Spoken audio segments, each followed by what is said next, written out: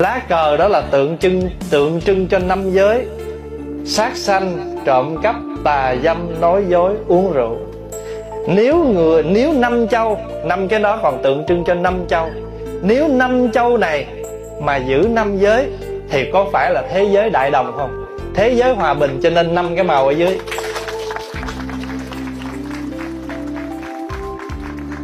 Bây giờ quý vị hiểu được ý nghĩa lá cờ phật giáo rồi, phải không?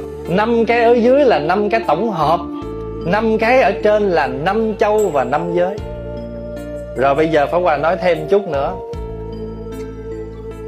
Màu xanh là tóc, Màu vàng là da, Màu đỏ là máu, Màu trắng là xương, Màu cam là tủy. Như vậy lá cờ Phật giáo là một con người.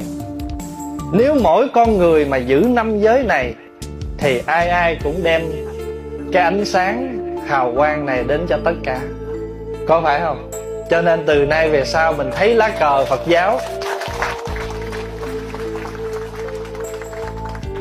Mình thấy lá cờ phật giáo thì mình hiểu được rằng đây là năm giới căn bản để hướng dẫn cho mọi con người không cần phải đạo phật mới giữ giới này.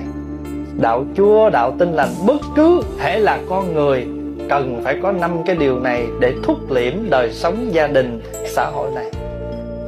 Đúng là từ bé giờ à, đi chùa đi chiền nhiều nhưng mà không biết là cái lá cờ đạo Phật là nó có cái ý nghĩa như thế. Mà cho đến khi mà thầy Thích Minh Tuệ xuất hiện ấy, thì bắt đầu là chun mới tìm hiểu và nghe được cái bài thuyết giảng của à, cái bài giảng pháp của thầy à, và pháp hòa. Đấy thì bắt đầu là mới hiểu được cái lá cờ và thấy logic lại. Anh chị em thấy nhá mình logic lại với cái bộ y uh, của thầy à, thích minh tuệ mặc ấy là thầy cũng đang phối màu đúng không ạ? Thường thì chun để ý là thường có 5 màu đấy anh chị em và đây là một cái điều vô cùng là tinh ý thì chúng ta mới nhận ra. Đó là thầy đang sử dụng cái màu sắc à, lá cờ của Phật giáo. Đấy mang lại nhiều cái bài học quan trọng và ý nghĩa vô cùng về cái sự đoàn kết và triết lý sống. Từ cái xuất hiện của thầy thì đã à, giúp cho là chúng ta thấy là các cái tôn giáo đúng không ạ? Đấy à, ở trong nước của chúng ta đang gì ạ? Đang đoàn kết với nhau. À, anh chị em thấy là từ thiên chúa giáo hay là các cái tôn giáo khác đúng không ạ? Công giáo vân vân là chúng ta thấy là đều khen ngợi cái hành động uh, uh, của thầy thích minh tuệ. Đấy thì nó thể hiện ở cái tính toàn diện và sự đa dạng. Đấy lá cờ phật giáo là có năm màu tượng trưng cho năm châu thể hiện tinh thần bao quát và hòa hợp của phật giáo. Bài học này là à, nói cho chúng ta biết rằng là chúng ta cần phải sự tôn trọng và hòa hợp giữa à, các nền văn hóa và dân tộc trên thế giới cái ý nghĩa thứ hai đó là về mặt con người thì mỗi màu sắc trên lá cờ cũng tượng trưng cho các yếu tố khác nhau của con người. Thể hiện rằng là mỗi người đều có những phẩm chất và khía cạnh đa dạng và giúp cho chúng ta nhận thức và phát triển toàn diện các khía cạnh của bản thân mình. Đấy. về à, ý nghĩa thứ ba đó là ngũ giới tức là các cái màu sắc à, đại diện cho năm giới trong Phật giáo là những cái nguyên tắc đạo đức căn bản là không sát sinh không trộm cắp không tà dâm không nói dối không sử dụng chất gây nghiện đúng không ạ? Đây là bài học về cái việc mà sống đạo đức tuân thủ nguyên tắc cơ bản để đạt được một cuộc sống an lành và hạnh phúc.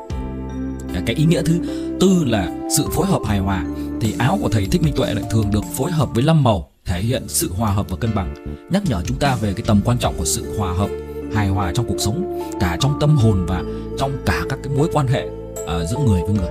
Đấy, tức là yêu thương uh, đồng bào đúng không ạ? Yêu thương dân tộc yêu thương tất cả những người trên cái thế giới này. Thậm chí là anh chị em để ý đấy, ngày hôm nay này, từ cái con kiến nó bò lên người thầy, nó đốt thầy đấy, nhưng mà thầy vẫn gì ạ, đặt xuống, đúng không rất nhẹ nhàng và ló một nụ cười, đúng không? và cái ý nghĩa thứ năm đó là cái tinh thần của Phật giáo.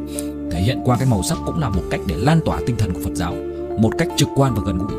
Bài học để chúng ta có thể sử dụng nhiều cái phương pháp sáng tạo và nghệ thuật để truyền đạt những cái giá trị tích cực và tư tưởng tích cực chính vì thế là anh chị em thấy đấy à, rất nhiều anh chị em làm về lĩnh vực thời trang hoặc thậm chí chun thấy có những cái ghế hiện nay đấy à, là cũng được phối màu giống như màu áo của thầy.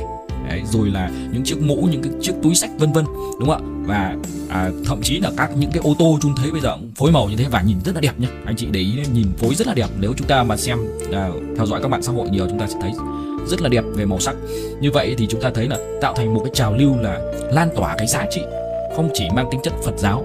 Đấy à, lan tỏa mà là còn gì ạ là thể hiện cái tinh thần yêu thương giữa con người với con người với nhau.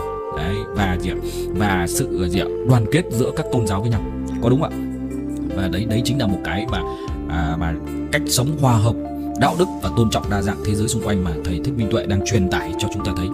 À, và à, nếu như anh chị thấy cái bài này mà nó đúng theo cái quan điểm nhìn nhận của anh chị thì anh chị hãy lan tỏa cho nhiều người cùng à, cùng nắm bắt được cái sự tinh tế của thầy thích minh tuệ nha đôi khi là chúng ta chỉ nghĩ là trên cái việc là thầy mặc cái áo thôi thế nhưng mà thật ra nó đều có ý nghĩa lan tỏa hết đúng không ạ? À, xin chúc anh chị à, thật là thành công trong cuộc sống.